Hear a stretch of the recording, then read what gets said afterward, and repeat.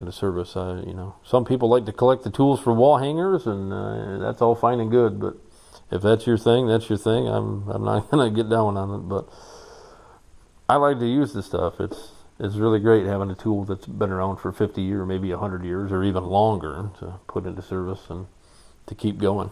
So, but yeah, uh, you know, hit up the yard sales, garage sales. You see some old grizzled old guy with a scraggly beard hanging out in his garage with a little sign out, stop in and see what you can find because I guarantee you you're going to get you're either going to get a really great deal on something or you're going to find something incredibly unique and you know sometimes not sometimes sometimes the prices are just too much and you have to walk away and shake your head but that's the way it, I've, I've done that a couple of, fortunately only a couple of times, but there's been a couple of times I looked around at a garage sale and just had to walk away and say, not today.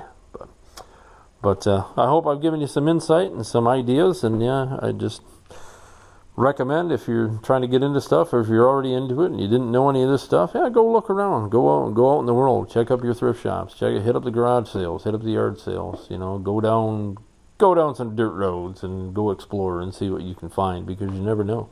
You never know what's going to be out there waiting for you for maybe a couple of bucks, and it's pretty awesome, or maybe even free.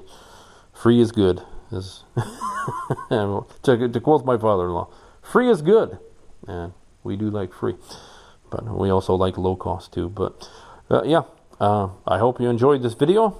If you did, if you learned something, please uh, like the video, subscribe just getting started here, but hopefully we're going places and just doing this. I want to get some information out and share my stuff with the world.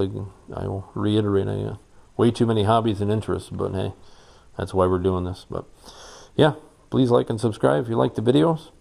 Uh, if not, and don't. but that's your choice. But I thank you for your time.